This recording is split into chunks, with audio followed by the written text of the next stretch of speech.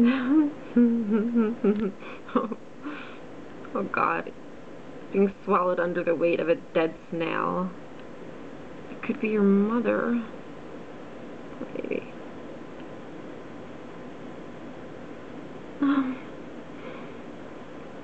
Sorry.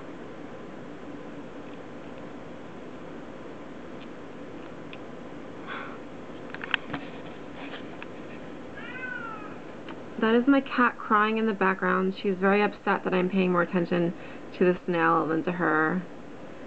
You will hear her occasionally throughout this video. Those are all dead snails, by the way. It's pretty cool. This is really exciting to me. Um, I get excited over this stuff. Like, I get, I get really, really excited. Um, I'm trying not to leave the house too often because people are starting to wonder and you know I don't know what they think I'm doing. But it's probably not what they think I'm doing whatever that is.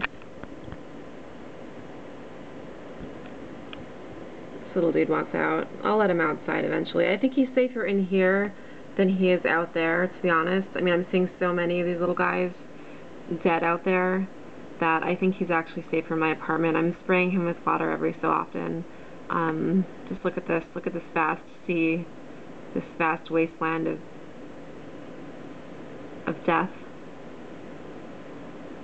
It's really quite profound. I love you, Snail. I know you love me too. You you just you just don't know it yet.